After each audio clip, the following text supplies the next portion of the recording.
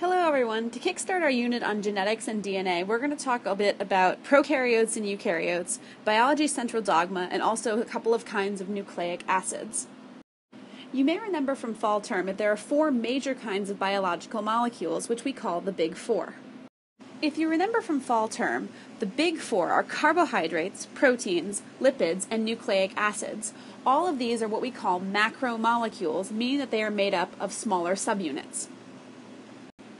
Carbohydrates are made up of three types of atoms carbon, hydrogen, and oxygen. And they're usually easy to spot because they have 2 to 1 ratio of hydrogen to oxygen.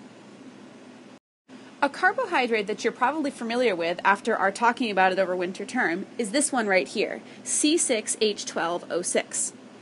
Hopefully, you also remember that we call this molecule glucose, which is a sugar. Since glucose only has one ring of carbons, we call it a monosaccharide. Something like cellulose, shown below, is what we call a polysaccharide, which has many rings stuck together. Because of its complex structure, it's very difficult for humans to digest, which is why eating beans, which contain lots of cellulose, tends to make you fart. Proteins are made up of carbon, hydrogen, oxygen, and sulfur, and they have many different functions, all of which are related to their structure. Just a few examples of the roles that proteins play are that they can perform storage, they can act as hormones and signaling devices, and they can also be enzymes, which we learned a lot about during respiration and photosynthesis.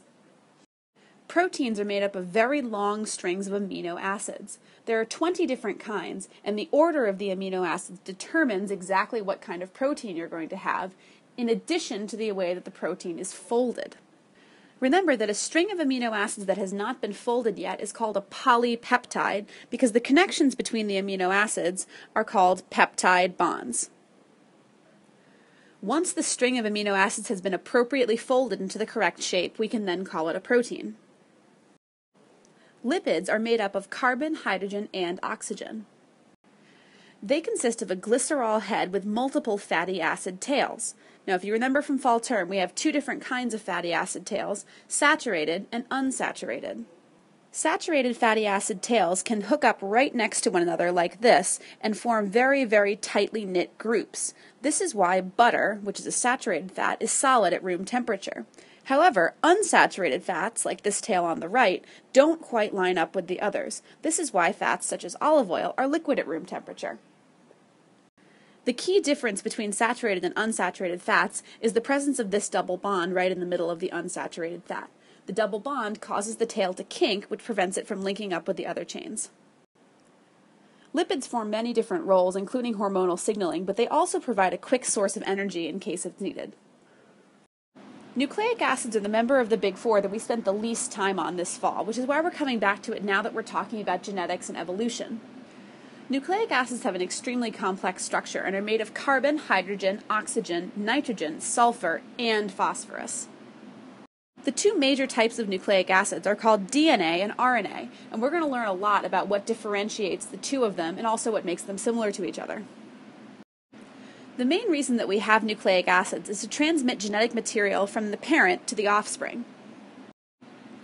This last point is going to be key as we learn about what we call the central dogma of biology. The central dogma of biology explains exactly how parents pass on genetic information to their offspring and exactly how those instructions are carried out. DNA contains a unique genetic code. This code is the instructions for how to make a single stranded molecule called RNA. RNA, in turn, is the instructions for how to make proteins, and it is the specific combinations of proteins that are present in the offspring which allows them to look similar and behave similarly to their parents. Now, this may seem like a roundabout way of passing on genetic instructions, but we'll understand it better once we look into the specifics of how DNA replicates and how it's passed on its code from parent to offspring.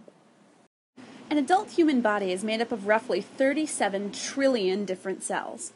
However, no matter where the cells are found in the body, every single one of them carries the same genetic code, which is unique to that individual.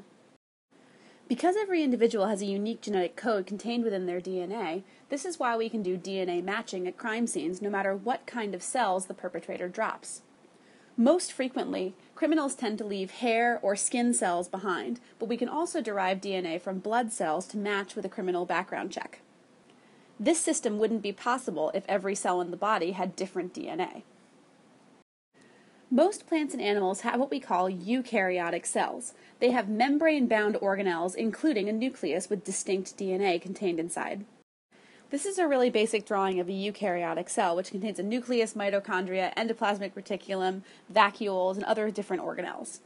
The DNA is contained in the form of chromosomes, which are found within the nucleus of the cell. DNA is normally a double stranded molecule, but it can be coiled very tightly in order to occupy less space within the nucleus.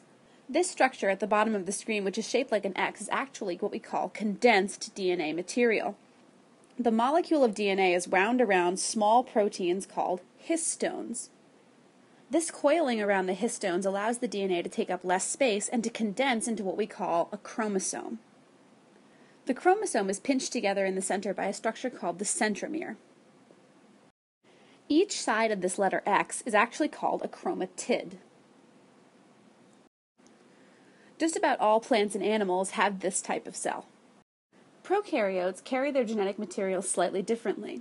Prokaryotes, if you remember, include things like bacteria. Prokaryotes do not have membrane bound organelles within their cells. Instead of having chromosomes, they have a circular portion of genetic material called a plasmid. When prokaryotes reproduce, they have no opportunity to shuffle around their genetic material, which means that every offspring is an exact copy of its parent. While this does make the reproduction process a lot less complex, it also means that the parents and the offspring will both be vulnerable to any kind of genetic disease or mutation that comes along. They will not have the opportunity to make any changes that might help avert this. That's it, folks. See you in class.